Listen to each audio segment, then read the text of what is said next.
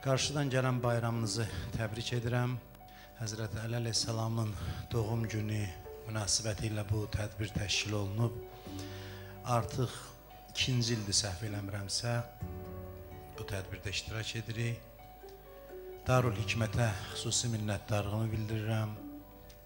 Elşən müəllimə təşəkkür edirəm ki, bizi bir araya toplayır və çox dəyərli alimlər bu tədbirdə iştirak edir.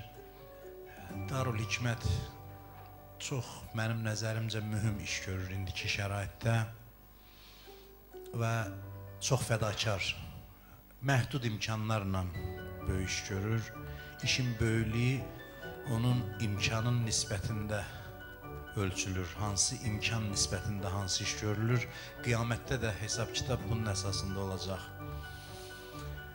Məhdud imkanla fədakar iş görmək böyük bir hünərdir. Bunu tərif üçün demirəm. Onlar hamısı mənim yaşımız bəlkə də imkan verməsə də bir övladım kimidir və onların nə qədər əziyyət çəkdiklərini görürəm. Amma elm yolunda, elmin inkişaf etdirilməsi yolunda atılan hər bir addım çox müqəddəsdir, təsirlidir və xoş o kəslərin halına ki, gəncliklərini təlim və tədrisə sərf edirlər.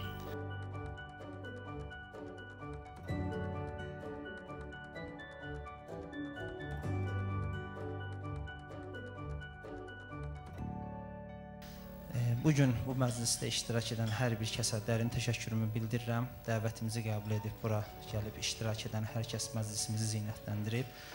Dəyərli qonaqlarımız, müəllimlərimiz, tələbələrimiz hər birinizə təşəkkür edirəm. Mən e, bu gün e, əslində istədiyim budur ki, bəzi insanlar var, pərdə arxasında qalıb. Bu gün onlara təşəkkür edək və onlardan danışaq. Bildiyiniz kimi mərkəzimiz artıq 4 ildir fəaliyyət göstərir və bu mərkəzin e, fəaliyyətə başladığı dövrdən e, əvvələ biraz qayıtmaq istəyirəm. Biraz zamanda qısa səyahət eləyək və bu günə qədər e, mərkəzin e, təşkil olunmasına qədər olan prosesi istəyirəm e, sizlərlə bölüşəm. E, bir neçə il əvvəl bir qrup gənc var idi e, və yaşları çox deyildi, təcrübələri çox deyildi. 20-li yaşlardaydılar Bəziləri hərbi xidmətdən yeni gəlib, bəziləri universiteti yeni bitirib. Ancaq onları bir yerə yığan bir dəyər var idi, bir amalları var idi, bir arzuları var idi. Qəlblərində insanlara sevgi və insanlığa xidmət, əməllərində səmimiyyət var idi. Sahib olduqları tək sərmayə bu idi. Çünki başqa heç bir sərmayələri yoxdur və məhdudiyyətlərlə əhatə olunmuşdular. Və e, bu gənclərimiz çox görüşürdülər, çox müzakirələr, müzakirə eləyirdilər. Bəzən gecələr səhərə qədər bir yerdə qalıb müzakirə eləyirdilər ki, biz cəmiyyətimizə, insanlara necə fayda verə bilərik. Çox işlər görmək istəyirdilər, çox çalışırdılar və çoxsa alınmırdı.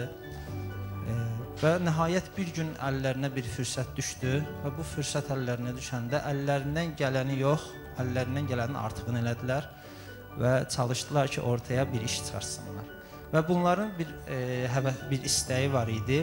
E, bir mərkəz yaratmaq istəyirdilər. Elə bir mərkəz ki, orada insanlara elmlə yanaşı sevgi verilir, orada elmlə yanaşı mənəviyyat verilir, bilgi ilə yanaşı əxlaq verilir. E, müəllimləri, tələbələri hamısı bir-birini sevir və e, mütərəqqi bir e, mərkəz e, yaratmaq istəyirdilər və bunun üçün əllərinə düşən fürsəti istifadə elədilər. E, fürsət dediyimdə indi fürsət deyəndə çox böyük bir şey deyil. E, bir dərs otağı düzəldə bildilər. Yalnızca bir dərs otağı düzəldə bildilər və sonra müəllimlərimiz gəldi. Amma bu da işin hamısı deyil, çünki dərs otağı var, müəllim var, amma tələbə yoxdur.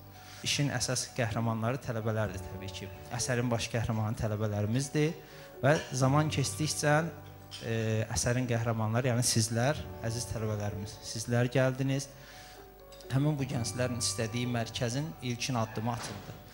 Və zaman keçdikcə tədricən e, tələbələr e, gəlmə axın eləməyə başladılar, gəlməyə başladılar.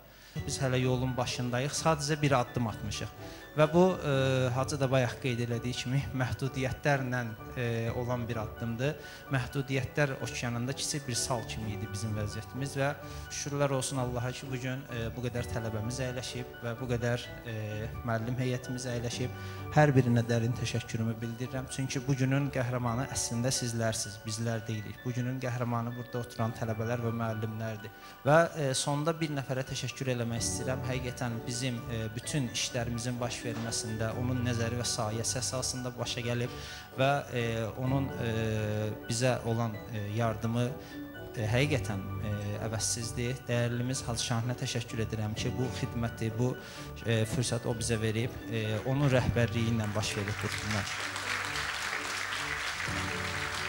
Təşəkkür edirəm Darül Hikmətin rəhbərliyinə, əziz ruhanilərə, Hacı Şahin qardaşımıza ki, bu gözəl e, təşkilatı qurublar, yaradıblar. Allah Taala müvəffəq eləsin. O gün olsun Darül Hikmət adlı bir akademiyanın inşallah yubileyində iştirak eləyək. Darül Hikmə Elm və Tədris Mərkəzi bu yolda layiqlə addımlayır.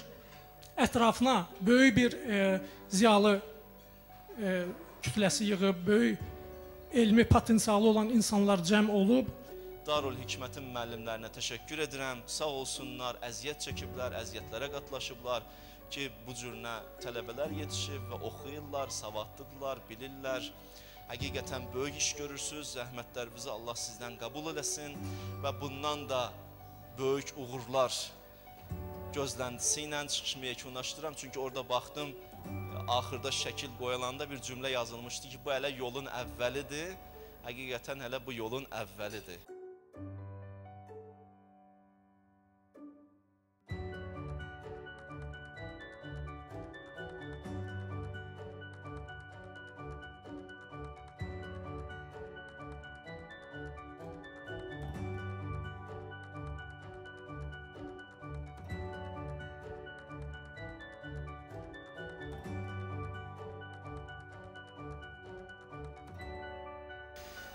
Darül Hikmət Elm Tədris Mərkəzinin 2018 və 19-cu tədris ilində keçirilən dərslərdə fəal iştirakına və əldə etdiyi uğurlara görə Məhərrəmov Elmar ilin tələbəsi adı ilə təltif olunur.